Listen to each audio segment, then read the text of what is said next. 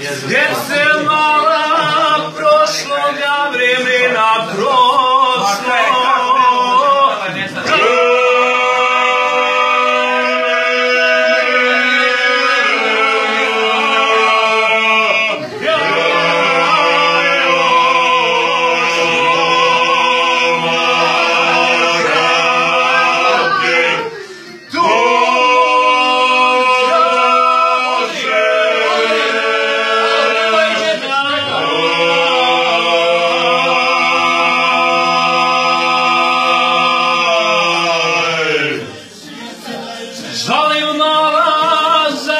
Ruszyło kraja za